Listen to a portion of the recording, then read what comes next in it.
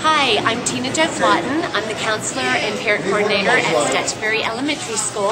We had Omegaman come out to our school today, and they are fantastic. I would definitely uh, want to refer them on to all my other uh, school counselors here in the Pasadena School District, um, Houston District, Friendswood, anywhere, any other state. I would definitely um, refer them on. Uh, they talk about bullying. It's an anti-bullying uh, program. Um, they uh, talk about being a dream maker instead of a dream breaker. Uh, they talk about having the can-do power and believing in yourself.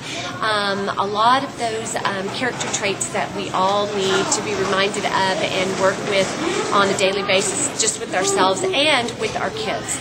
Um, so I definitely um, want to encourage you to look them up on the website and get them in your school because they make um, a definite statement to the kids and to the adults. Thank you.